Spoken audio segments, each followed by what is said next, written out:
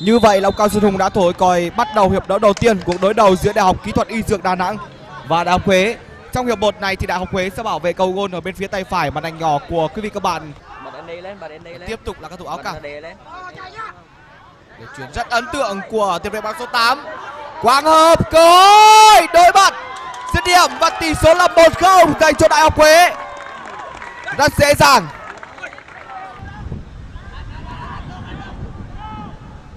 Tiếp tục là một tình huống nhồi bóng vào. Không được. Penalty. Bóng đã chạm vào tay và sẽ có thêm một tình huống cố định nữa lần này là quả penalty dành cho Đại học Huế. Duy Minh, Duy Minh, Duy Minh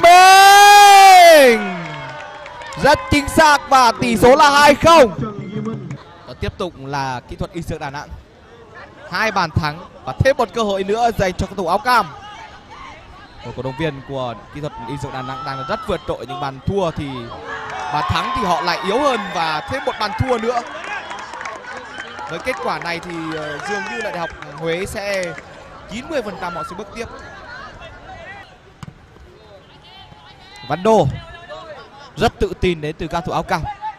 Lại là một cơ hội nữa, rất dẻo cao thủ áo cam đang tổ chức tấn công rất tự tin thêm một bàn thua nữa dành cho đại học kỹ thuật y dược đà nẵng. Người ghi bàn thắng tiếp theo là cầu thủ mặc áo số 9 Trần Duy Minh. Hat trick dành cho số 9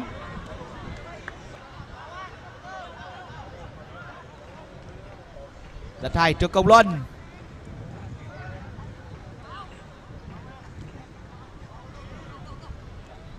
Bỏ bóng khôn ngoan. Quốc việt văn phi. Văn dương. Luân chuyển bóng rất đều. Đưa bóng vào. Dứt điểm. Thêm một bàn thua nữa. Bóng cơ dành cho số 9 bên phía đại học huế.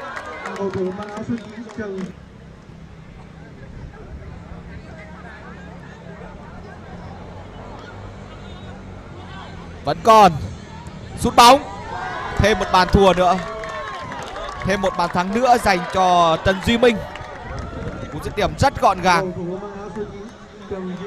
Năm bàn thắng dành cho trần duy minh. Để đến bóng dành cho các thủ áo xanh. Không được. Quá bê tắc.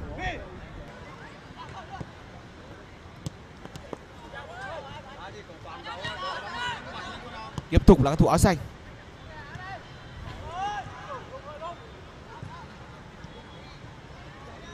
Chung kết toàn quốc.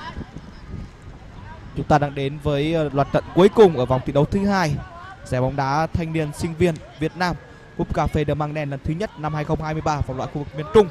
Đây là giải đấu được trung ương và như vậy là có thêm một bàn thua nữa đến từ đại học kỹ thuật y dược Đà Nẵng. Bàn thua thứ bảy 7-0 dành cho đại học Đà Nẵng. Xin các bạn 7-0 dành cho đại học Huế. Người ờ, 17 ghi bàn thắng thứ bảy đó là số 20. Nguyễn Ngọc Thành. Cầu thủ vào sân ở băng hình siêu bị. Chúng ta theo dõi lại. Quả tạt rất cố gắng ở hành lang cánh phải. Ngọc Thành mất tới hai tình huống dứt điểm mới có thể thành công.